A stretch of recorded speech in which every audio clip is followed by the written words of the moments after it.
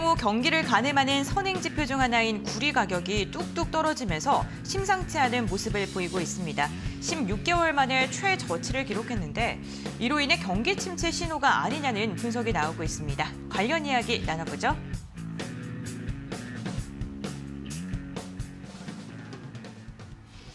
네, 산업 전반에 광범위하게 사용이 되기 때문에 경기의 선행 지표로 삼는 구리 가격. 구리 가격이 최근 폭락을 하고 있습니다. 과연 경기 침체의 신호일지 대표님과 한번 이야기 나눠볼 텐데 네. 어, 이게 확실히 연동이 되어 있나요? 뭐 우선 음. 과거의 구리 가격들을 한번 같이 보자면 네. 08년 금융위기 때도 구리 가격이 굉장히 폭락을 했었습니다. 그 코로나 팬데믹 때 어, 2020년 때 어, 5월 톤당 5천 달러까지 내려앉은 구리 가격이 어, 최근 들어서 경제 활성화를 위해서 돈을 풀게 되니까 21년 5월에는 다시 1만 달러를 넘게 되면서 두 배 이상 뛰게 됐거든요. 그래서 경기 선행 지표로서 굉장히 구리가 민감하게 반응하고 있다라는 걸 어떤 과거의 경제 역사를 보면서 알 수가 있는 거고 어, 올해 이달 들어서 11%까지 지금 하락을 하고 있습니다. 월간 손실 기준으로 봤을 때 30년 만에 가장 큰 최대 하락폭을 나타내고 있는 거고 어, 원인을 조금 살펴보자면 어, 러우, 러우 전쟁이 촉발한 어, 에너지 무기화 어, 여기에 따른 어떤 shortage 현상이 촉발이 됐습니다. 여기에 따라서 어, 각국이 에너지 무기화를 시작을 했고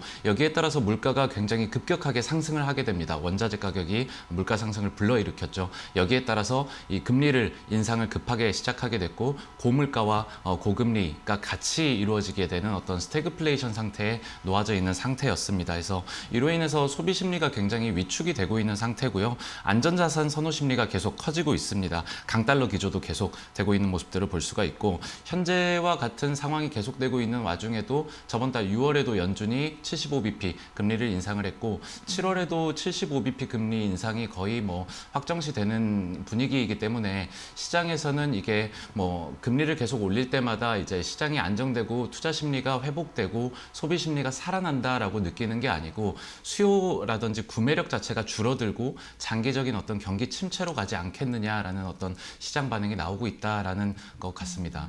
네, 그렇군요. 저희가 이제 구리로 앞서 좀 출발을 열었는데 구리뿐만 아니라 원자재 가격 전반적으로 조금 지금 가격이 하락하고 있는 것으로 집계가 되고 있어요. 네네, 맞습니다. 그 구리 외에도 비철강 금속들 외에도 뭐 니켈이라든지 네. 뭐 특수광물들 이런 것들이 전체적으로 가격이 내려가고 있는데 이런 부분들이 뭐 마냥 뭐 금리 인상을 급격하게 했기 때문에 연준의 양적 긴축으로 인한 어떤 효과라고 보기에는 조금 어려운 것 같습니다. 어, 주로 지금 원자재 가격이 줄어들고 가지고 있는 주요 원인이 어, 구매력 자체가 줄고 이 재고량 자체가 늘어나고 있습니다. 음. 시장에서 어떤 투자 심리도 위축되어 있고 거기에 따라서 소비 심리가 줄어들기 때문에 어, 어, 공급 자체가 많지 않아도 되겠다라는 어떤 우려에서 원자재 가격이 계속 낮아지고 있다라고 생각을 하고 있습니다.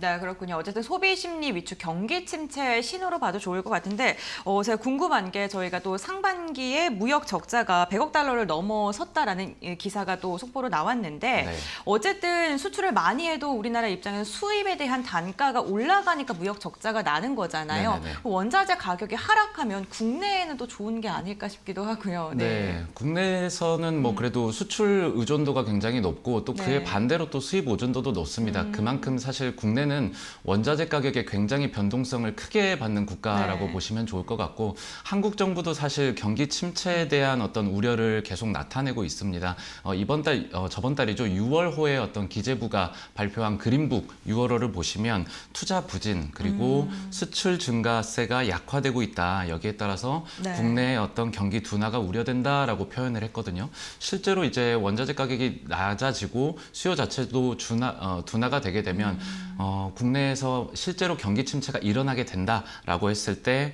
어, 기업 실적에 대한 어떤 하향 조정이 나타날 겁니다. 이를 확인을 하고 주식시장이 완전히 이런 것들이 선반영이 됐다라고 하고 바닥이 만들어졌을 때 뭔가 기술적 추세적 반등을 모색할 수 있을 텐데 저는 그 기간이 사이클이 굉장히 조금 길게 걸릴 것이다. 물가가 음. 잡히기에는 당분간은 쉽지 않을 것이다라고 생각을 하고 있습니다.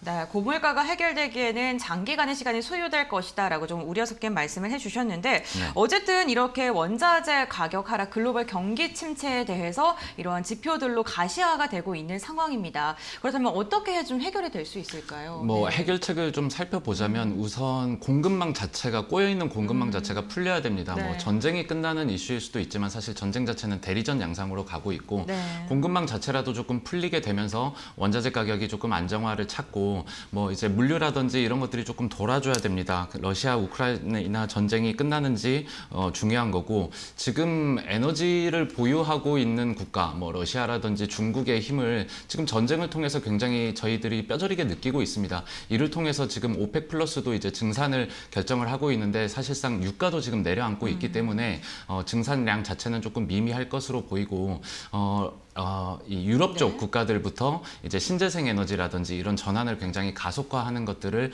어, 따라가고 있습니다. 그래서 현 정부도 우리 정부도 유럽과 마찬가지로 뭐 아리백을 따라서 신재생 에너지로의 전환을 조금 가속화하고 있는 부분들을 들 수가 있고 뭐 투자 포인트로 조금 찾아보자면 경기 방어주들이 조금 필요한 것 같습니다. 뭐 유틸리티라든지 어, 어떤 뭐 식음료 관련주들 뭐 이런 쪽으로 좀 집중을 해보시면 좋을 것 같고 물가 상승을 조금 피할 수 있는 컨텐츠들도 조금 주목을 해보시면 좋을 것 같습니다.